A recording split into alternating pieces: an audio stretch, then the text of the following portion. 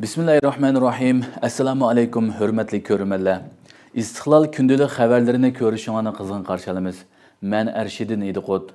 Tövəndə vətənimiz Şərqi Türkistan və dünya gün tərtibigə əlaqədar mühim xəbərlərini huzurunuza sunumuz. Qani diqqətinizlər ekranımızda bolsun.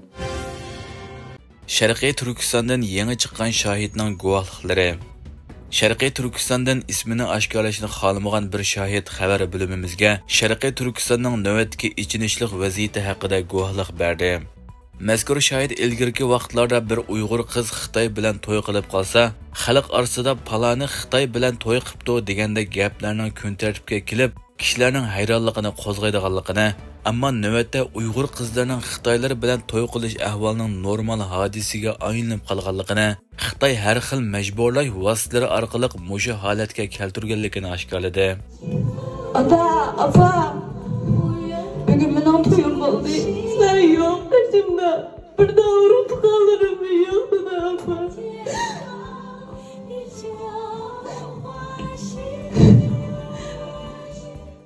Shohid yana xitoy bilan majburiy to'y qilgan uyg'ur ayollarning undidor yoki tik to'qqa chiqib cho'chqa go'shti yegan ko'rinishlarni tarqatgan ahvolda xitoy buningga mos holda mazkur ko'rinishlarni undidor bilan tik tokning bosh qismida ko'rinadigan qilib tarqatganligini buni ko'rib vijdoniy azobidan norozilik uchur yozgan yoki gap qilgan uyg'urlarni shu bahona bilan tutqun qilayotganligini sharqiy turkistonda ichki jihatdagi taqibning qattiq ching ekanligini vaziyat haqida norozilik uchur yo'llashga emas hatto gap so'zda xatolashgan uyg'urlarnimi soqchixonaga chaqirtib avara qilayotganligini keng ko'lamli tutqun qilish orqali uyg'urlarning yuragini ezdiganligini oshkorladi.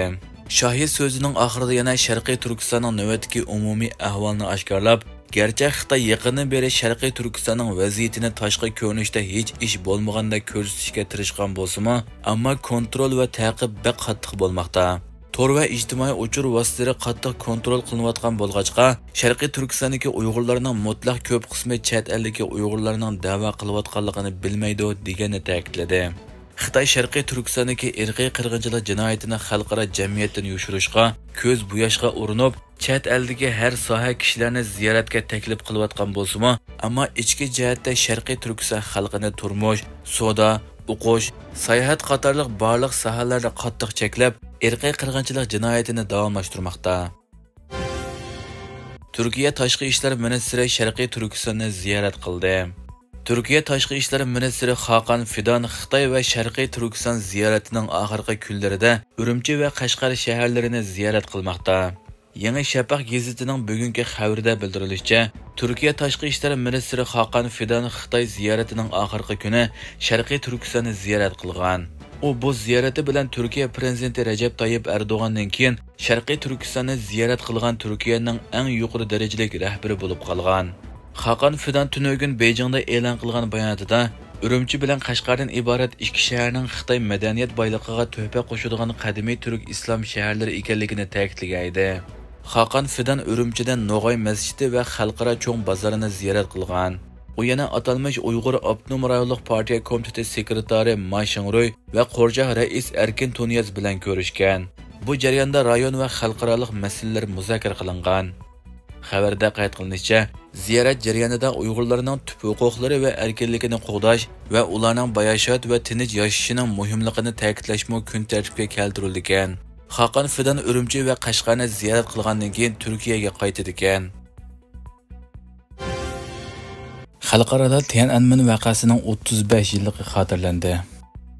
Amerika va G'arb allarida 4-iyun Tiananmen bostirish vaqasi xotirlangan bo'lib, Tayvandagi xotirlash murosimi tarixdagi eng yuqori rekord yaratgan. Taybeyda murosimga qatnashganlar 6 mingdan ishib ketgan. Amerika ovozining bu vaqtdagi xabarda bildirilishicha, Tayvan Xitoy Kompartiyasining 4-iyun Tiananmen maydonida tinch namoyish qilgan kishilarni qattiq bostirganligining 35 yilligini sham yiqib xotirlagan bo'lib, faoliyatga 6 mingdan ortiq kishi qatnashib, tarixdagi eng yuqori rekordni yaratgan. Navbatda Tayvan Xitoyning atrofidagi davlatlar ichida 4-iyun voqeasiga uchuq oshkora motam tutiladigan birdan-bir joy bo'lib qolgan. 4 iyun tushdan keyin Taybi erkinlik maydonida sham yig'ish faoliyati o'tkazilgan. Tashkilotchilarning statistikaga asoslanganda faoliyatga 6 mingdan ortiq odam qatnashgan. Buning ichida nurg'unlagan Hong Kong aholilari va Taybeydan kelgan to'liq o'ttir maktab o'quvchilari bor bo'lib, ular birdek 4-iyun voqeasini cho'qim asli saqlash kerakligini, va Xitoy kommunist rejimining tahdidiga duch kelganligini bildirishgan. Xitoyning 35 yil ilgari Tiananmen maydonida ijro qilgan qirg'inchilik jinoyatini xotirlash faoliyati nurg'un davlatlarda tashkillangan bo'lib, xususan Amerika, Angliya, Kanada, Germaniya, Fransiya qatorli g'arb ellarida 4-iyun qirg'inchiligini keng ko'lamli xotirlagan. Navbatda Tiananmen qirg'inchiligini xotirlab o'tkaziladigan shom yiqish murosimi Hong Kong bilan Xitoyda qattiq cheklangan. Zelenskiy Isroiliyani mo Falastinni e'tirof qilamiz dedi. Ukraina prezidenti Volodimir Zelenskiy Isroiliyanimi Falastinni e'tirof qilganligini bildirdi hamda har ikki tarafni G'azzadagi to'qinishni oxirlashtirishga chaqirdi. Turkiya ovoz radiosi xabarida qayd qilinishicha, Ukraina prezidenti Volodimir Zelenskiy Singapurda chaqirilgan xalqaro bexatarlik munbiri suhbat yig'iniga qatnashgan. U yig'inda so'z qilib, Ukraina har ikki davlatni e'tirof qiladi. Jumladan Isroiliyanimi Falastinni e'tirof qiladi. Isroil yana G'azzada davomlashtirayotgan hujumlarni to'xtatish, to'qinishlarni oxirlashtirish, fuqarolarning azob uqubatlarini yengiltish uchun qo'ldan kelishicha tirishchilik ko'rsatdi degan. Zelenskiy bu ikki bosqichning ya'ni 7-oktyabr Hamasning Isroiliyaga hujum qilish bosqichi va shundan keyingi Isroiliyaning G'azza rayonida davomlashtirayotgan hujumlari bosqichining ayrim-ayrim holda analiz qilinishga tegishli ekanligini ta'kidlagan. Zelenskiy boshliqlar yig'inda yana Xitoyning 15-16 iyun kunlari shvetsariyada chaqirilgan Ukraina temirliq boshliqlar yig'iniga qatnashmaydiganligini hamda boshqa davlatlarni qatnashmaslikqa tashviq qilganligini ayblagan. Egilinishcha, Shveysariyada tinchlik o'rnatish maqsadida chaqirilgan Ukraina temirliq boshliqlar yig'iniga Xitoydan sir yana ko'plagan arab davlatlari bilan Pokistonmo qatnashmaslik yo'lini tanlamoqda ekan. Bayden Meksika chegarasini vaqtliq taqash farmonini imzoladi. Prezident Jo Bayden Amerikaning qonunsiz ko'chmanlarning kirishini cheklash uchun Meksika chegarasini taqash farmonini imzoladi.